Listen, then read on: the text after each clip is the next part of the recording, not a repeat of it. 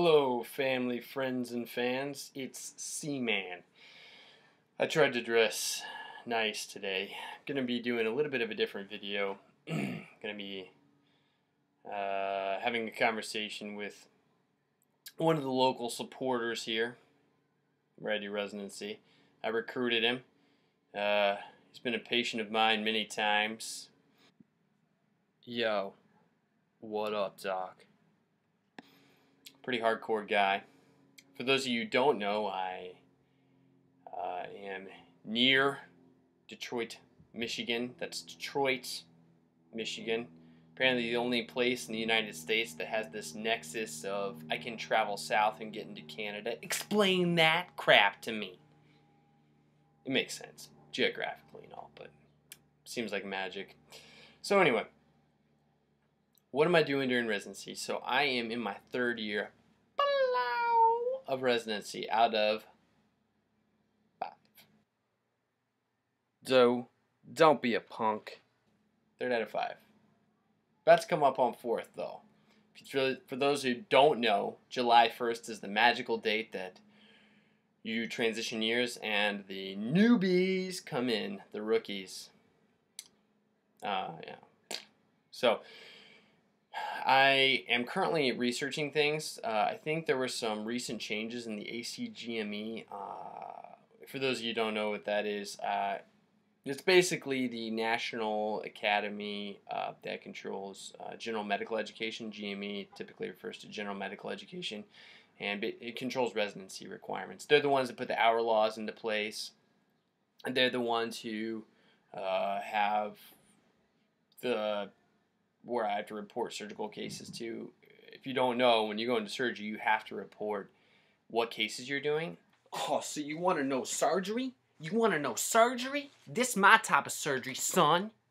And you have to meet specific amounts of uh, what they call key indicators.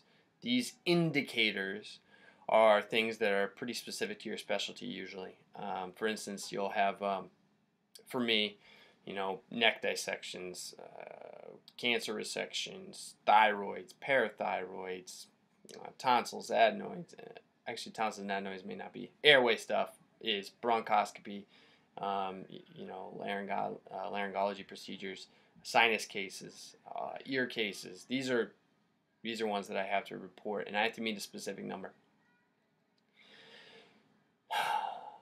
Going on. So, uh, third year medical, uh, or third year right now, I'm doing that research. What did I do this year? I did a combination of um, kind of a, a, general ENT head slash head neck with my chairman. That was three months. The next three months was the Veterans Association Hospital. Um, and then there was the uh, last one was pediatrics the, the one just before this research. I'm ending on research. Uh, which was risky because research you have a little more time to like study and stuff and if you take in service which is the uh, your program will pay for you at least i've never heard of a program not paying for you to take the practice uh, otolaryngology boards every year they are the same boards that are administered to the actual graduates uh, however uh, you just get scored. You're not going to be board certified if you pass, etc. And they're not going to tell you if you quote pass boards like they would tell you in the real, you know, if you took the real thing. And you take them after they take them, so which makes sense. They wouldn't want you to give the, uh, question answer or the questions to the people that are taking it for for the, all the marbles, if you will. So the uh, um, the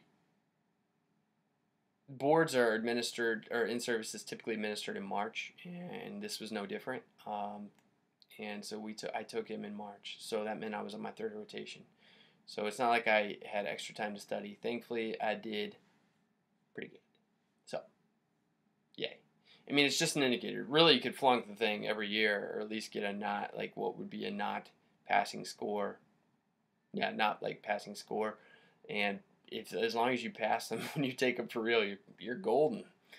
Um, these are just to indicate kind of where you are. Um, so I took that in March.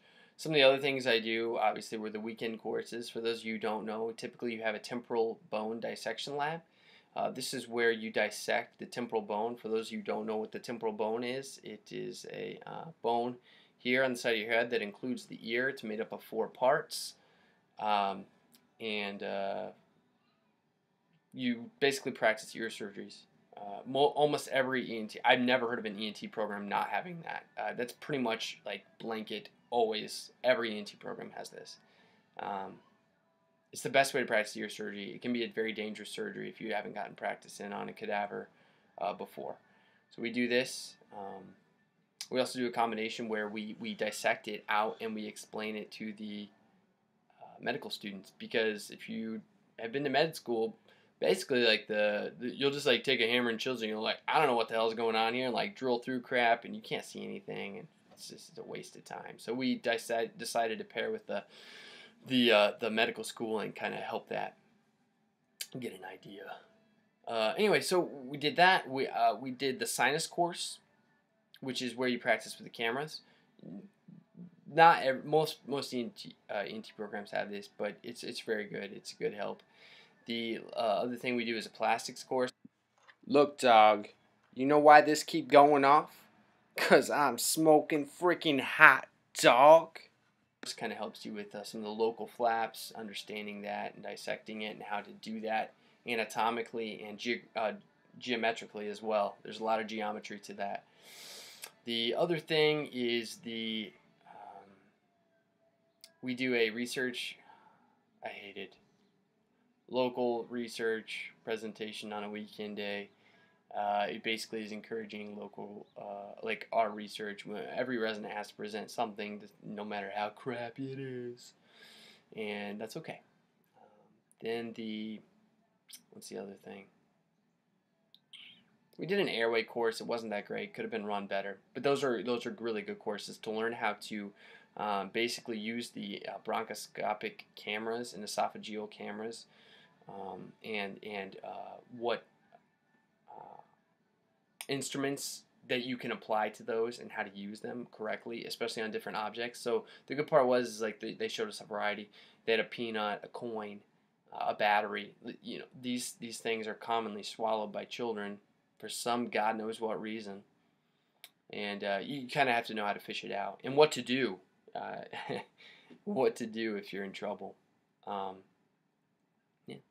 So I did all that, and I'm currently on research, enjoying that life next year, I will be progressing on to a combination of head and neck surgery. Man, the only type of head and neck I do is with the girl. I'll be necking her, and then I won't. Well, I better not tell you about the other part. You know what I'm saying? Uh, which will come my first three months. What's next? Ah, uh, plastics, facial reconstructive, then uh, neurotology, and finally ending on uh, endoscopic sinus and skull base surgery.